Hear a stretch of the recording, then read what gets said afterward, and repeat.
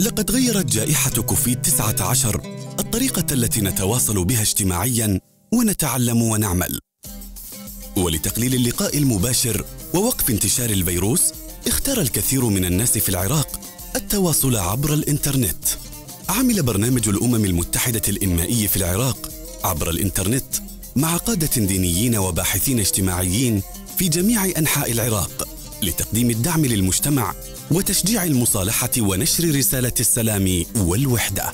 دعم برامج العمل مع القادة الدينيين عبر الإنترنت. حول نبذ التطرف والعنف ينعش الأمل بمستقبل مشرق للجميع. نشر الخلق الحسن ودعم الفئات الأكثر ضعفا هما مفتاح لبناء نسيج اجتماعي قوي. فكل جيل في العراق له الحق في الاهتمام والرعاية. عمل برنامج الأمم المتحدة الإنمائي في العراق على تمكين آليات السلام المحلية طوال فترة الوباء من أجل تلبية احتياجات الفئات المهمشة وضمان الوصول للجميع.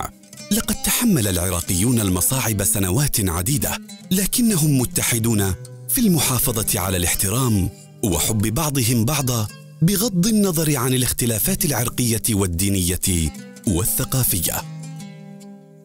بالتماسك والاتحاد سنضمن الازدهار ومستقبلا أفضل للجميع.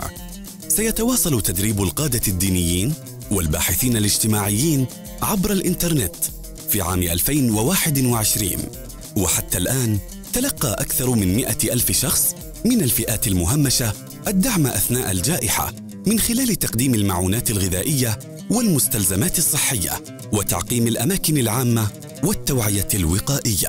دعونا نواصل دعم بعضنا لبعض.